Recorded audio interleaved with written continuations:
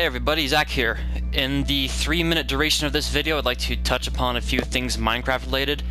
First of them being, as I've mentioned before, the Minecraft playthrough of mine, my single player, is going to be put on hold until horses are added to the game, because I would definitely like a horse to be part of my playthrough, and that's one of my three goals, the only one I have uh, not yet accomplished.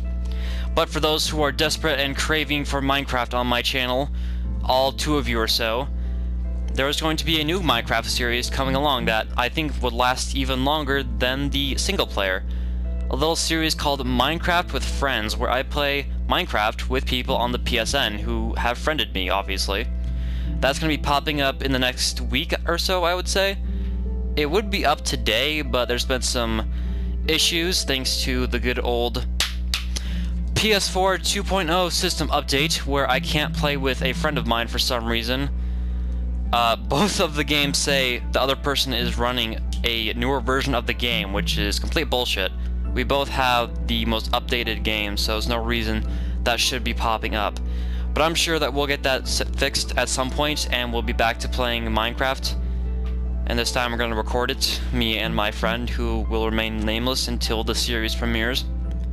And also, Today is November 18th, and if you are a Minecraft fan or a hardcore fan, you will know that three years ago today, on November 18th, 2011, Notch released the finalized, finished, last update version of Minecraft. So this is the official third birthday of Minecraft. It's been around, of course, for about five years or so, but officially, it's only been around about three. So happy birthday to Minecraft.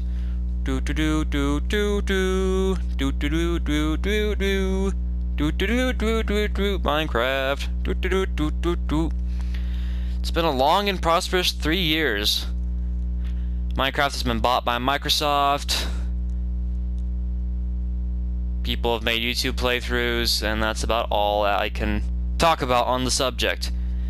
But yes, Minecraft being one of my favorite games of all time, I figured I should make a video to say happy birthday, or whatever.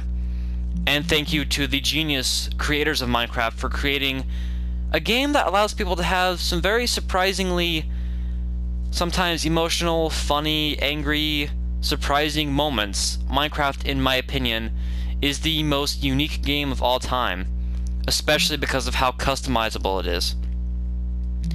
But anyway, that's it. New series to come soon. It's not going to... It's going to be pushed aside because of Far Cry and GTA, but it's coming soon.